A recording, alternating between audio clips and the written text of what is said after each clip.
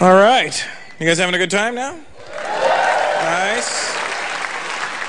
So uh, this is the, you know, we're getting an idea of the show now. You know what I'm saying? So let me tell you something. Uh, my parents now have been in uh, Canada 41 years. They uh, they moved from India to Canada 41 years ago. I don't know how they picked it or whatever, but they were like, Canada, and I was like, okay, well, maybe when you get there you'll be able to say it. So. Um,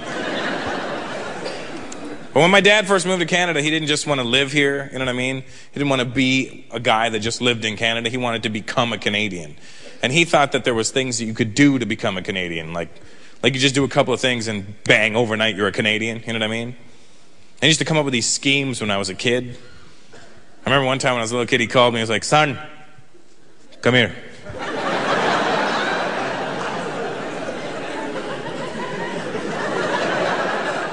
Here's the thing with Indian parents too. They they never just um, tell you directly to come and do something. They, uh, they it's, it's, just not that kind of culture. You know what I mean? Indian parents will not boss you around like that. Hey, come here, because the, they they have salesmen built into them. You know what I mean?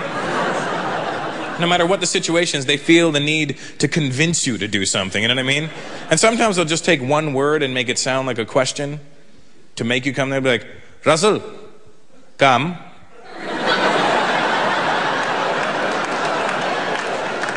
Come. Come. So remember this one night, right? My dad was like, son, tonight we will become Canadians.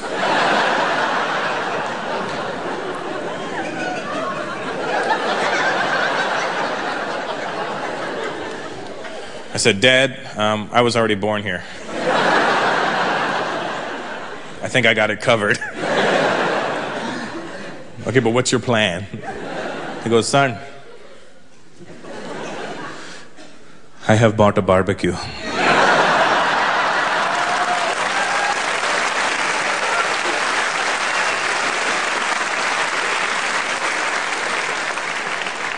I go, well, what are you going to do? Cook the rest of Canada and we're the only ones left? no. Canadians like to eat the barbecue. I go, Dad, they don't actually eat the barbecue, but I think I know where you're going with this. I go, what's your plan? He goes, Tonight, we will have a barbecue in the backyard. We will invite all the neighbors. They will come over, eat our food, and think we are a Canadian. I said, Dad, if they eat our food, they're going to know we're not Canadian.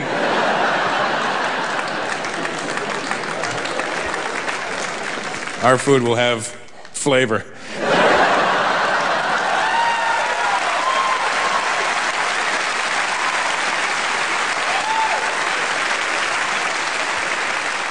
It's funny, sometimes Canadian people, white folks get mad at that joke. Hey, hey, hey. You don't diss our boiled potatoes. Right? Sometimes I put salt in that water.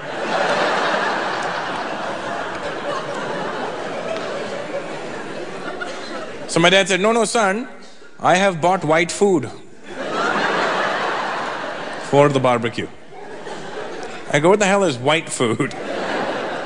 You know, hamburgers, hot dogs.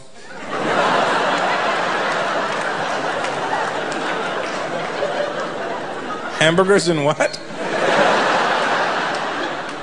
Hot dogs.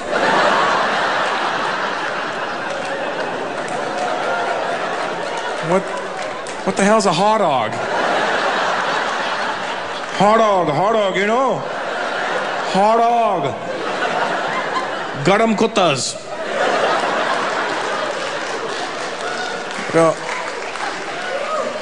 Oh, hot dogs. Well, whatever fancy name you want to give them. And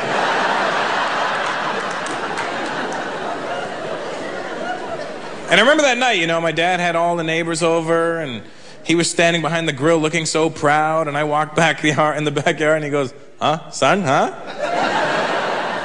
Do I look Canadian? I go, you look like an Indian guy in Canada. but is everybody having a nice time? Everybody seems to be having a nice time. Then why do you keep on staring at me? Well, the rice keeps falling through the grill.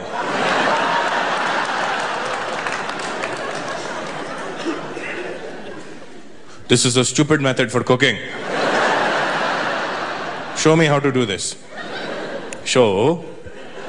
Show.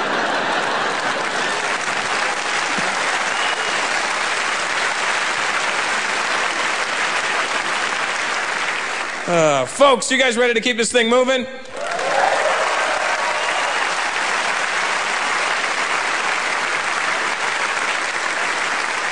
Canada's west coast is known for its high mountain peaks and its cool glacial lakes. And this next act brings you the essence of both. He's a tall drink of water. Please welcome Vancouver's Dave Nystrom.